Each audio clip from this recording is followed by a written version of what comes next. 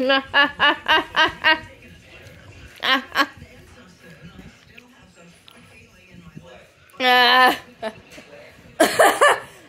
just watching Roseanne here. I have a zoo trip tomorrow, and yeah, just taking care of my own stuff right now. Hmm. Okay, keep going, keep going.